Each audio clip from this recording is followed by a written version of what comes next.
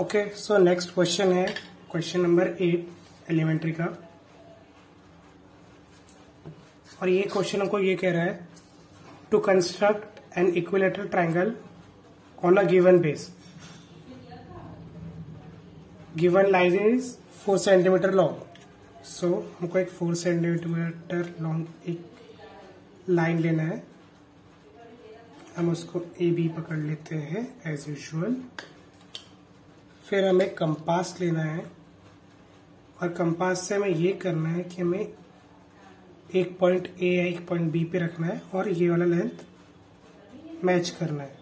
Means हमें length लेना है ए बी से। ओके फाइन फिर उसके बाद हमें एक आर्क बनाना है अप साइड में। और वैसे ही पॉइंट ए पे रख के हम एक और आर्क बनाएँगे। और इसका जो क्रॉस बना है, हम उसको नेम देते हैं सी और अब हम ये आर्क क्रॉस को पॉइंट ए और पॉइंट बी से ज्वाइन कर लेंगे। तो इसमें हमको इक्वलेटरल ट्रायंगल मिल जाएगा। इक्वलेटरल ट्रायंगल ये होता है जिसके सभी साइड्स इक्वल लेंथ के होते हैं। जैसे लाइन ए लाइन एबी भी फोर सेंटीमीटर है। अब लाइन ए सी भी फोर सेंटीमीटर है।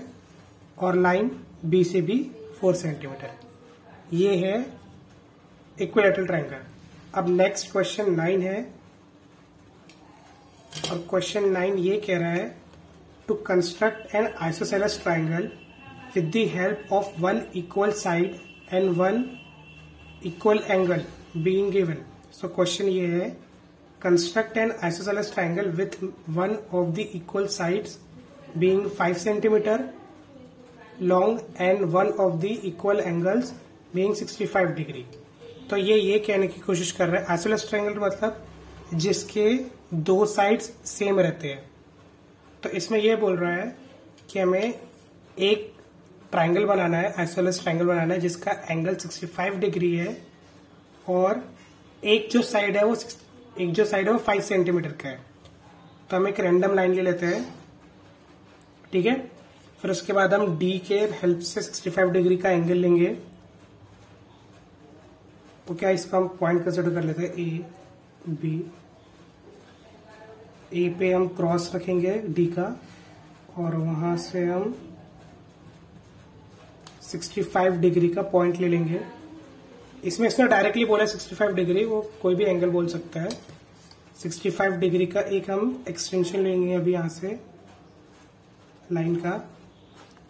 फिर नेक्स्ट उसने ये बोला है कि जो एक साइड है, वो फाइव सेंटीमीटर का होना चाहिए। तो मैं अब इसको कंपास के थ्रू फाइव सेंटीमीटर ले लू। ओके या फिर मैं डायरेक्टली कोई भी साइड को, या फिर ये, या फिर ये, किसी को भी फाइव सेंटीमीटर ले लू। तो मैं डायरेक्टली ले लेता हूँ।